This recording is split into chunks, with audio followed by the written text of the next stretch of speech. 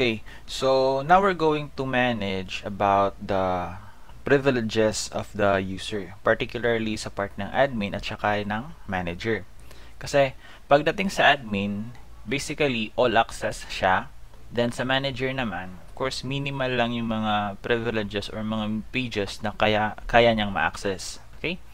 So, ngayon, let's try to log in to our admin. Let me show you ano ba yung mga accessible pages niya. Okay. So, basically, um, dito, itong lahat ng menu na nasa sidebar natin, kaya itong ma-access ng admin. Pero, kung magkaroon na tayo ng manager account, if we try to log into our manager account, then yung makikita lang niya, dapat yung visitors account lang.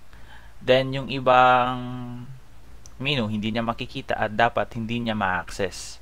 Although, sa URL niya, gawin. Okay?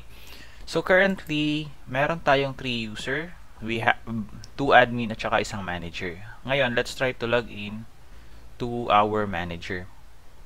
Para ma-manage na natin yung um, changing of menu here. Okay? Depending on the role na meron siya. So let me try to log out and log in to my manager account. Okay. So, ito na yung manager account. So, ngayon, um, we cannot easily identify kung what kind of account is this kasi wala namang naka-indicate. So, first thing na gagawin natin, maglalagay tayo na parang dito, sa side na to, sa upper right corner, maglalagay tayo ng pangalan at saka yung role ng user. Okay? So, let's go to our code. Look for the header ng admin. Ito. So, dito maglalagay tayo ng pangalan. So, let me try to copy this one.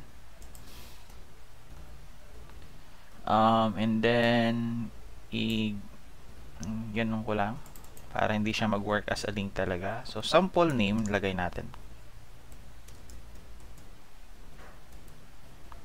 Then, dapat yung isa, meron dito yung role.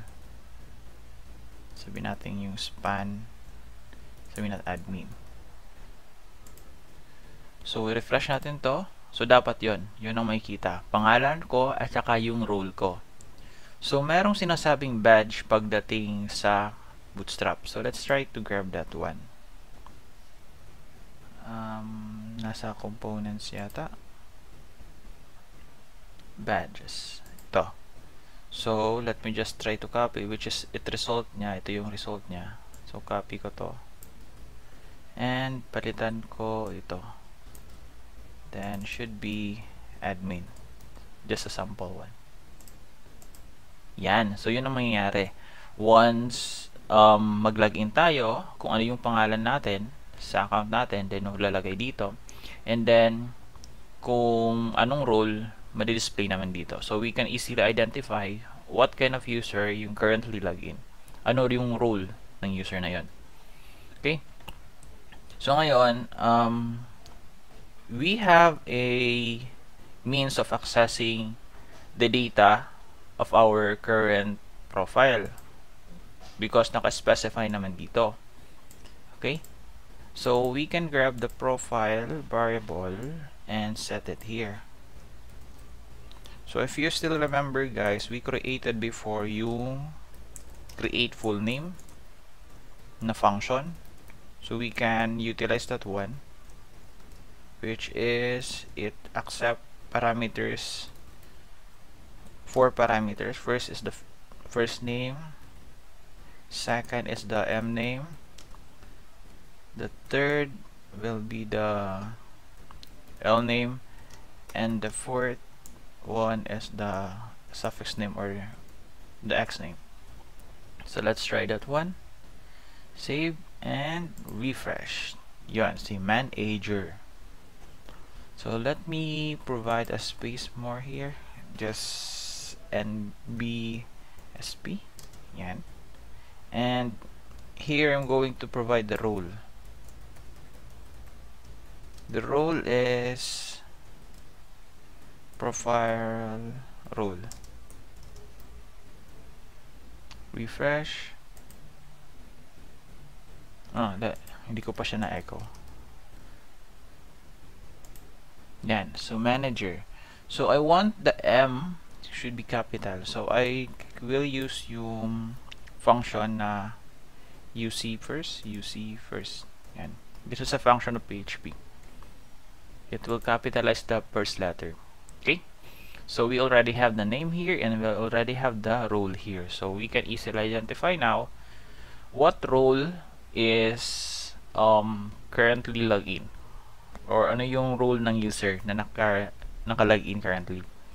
So basically, it is manager. Ngayon, since manager, dapat hindi to makikita na menu na user. So, since we have this role, we can able to provide some if statement. If role is equals to what? It should be equals to admin. Kung equals to admin yung role, then that's the only time na magdi-display. Pero kung hindi siya equals to admin, then we're going to hide this particular menu. Okay?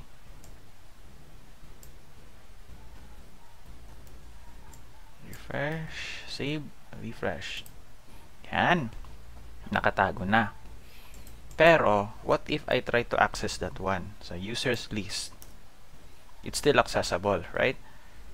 Even, let me have the new tab for edit. Okay? So, nagwo-work pa rin yung functionality na to, although hidden na siya, which is hindi dapat. So, let's try to fix that one. Let's go to our I mean this part. And let's try to check dito. So we have the profile. We can check as well same process. If um yung role. Ano ba yung role? If the role is equals to manager or let's say not equal to admin kung hindi equal to admin yung role niya, then yung gusto kong mangyari, i-redirect siya pabalik sa visitors list.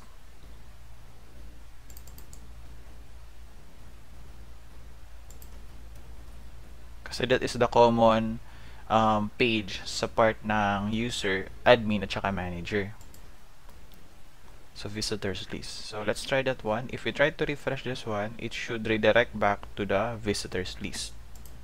Yan. Okay? So dito accessible pa rin. So we also need to work on that one.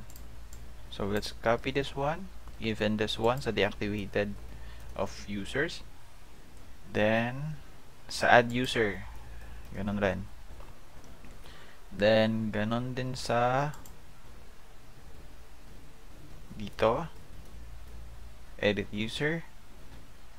Also, deactivate user. As well as with the reactivate user. Okay, so yung kaya niya lang ma-access should be um, yung visitors account. So, let's try this one to refresh. Yun, bumabalik na siya sa visitors account or yung mga list. So, yung kaya niya lang ma-access is yung deactivate user, reactivate user, oh, I mean visitor, and then yung deactivated list of visitors and the active list of the visitors.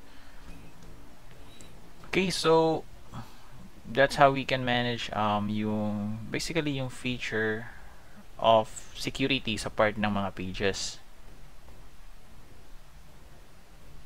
So, ano ba yung kinaganda dito that we can check yung ganon? Let's say, um, let's try to log in to incognito an admin account.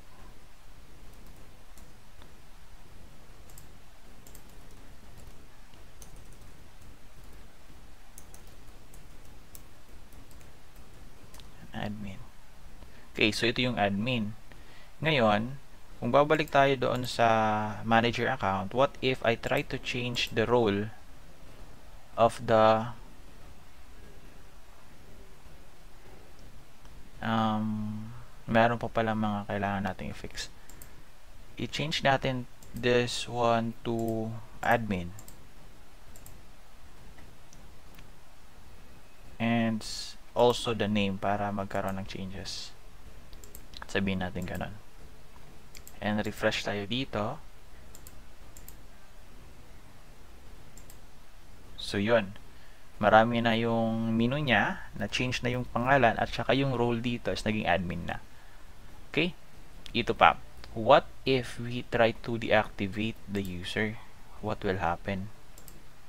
Kung deactivate ko to as admin naman ako, okay, deactivated na siya. What will happen to this one? Hmm. Dapat na-log out na siya kasi deactivated na yung account niya. Although manager siya, oh, I mean admin inag nilagaw siya ng isang admin so we need to fix that one so if you still remember sa ating visitors portal we have something that checks here this one if active pa ba yung isang user. So we can use it as well on this part.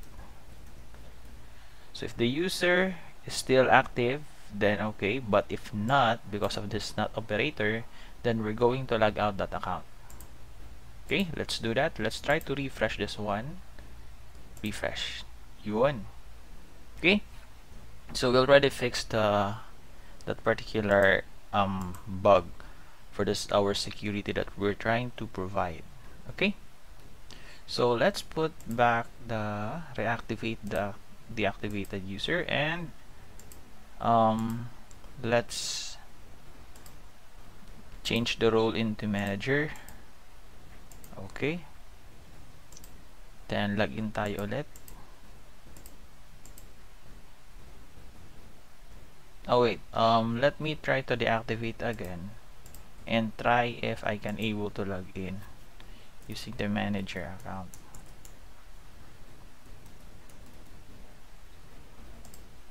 So sorry unknown account.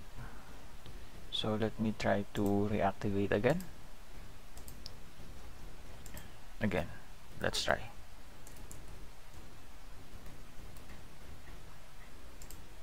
So yun. Okay. So working na yung um, feature natin for the part of the security and managing the privileges of our accounts for a specific role depending kung ano yung role ng current user. Okay? So, I think that's it.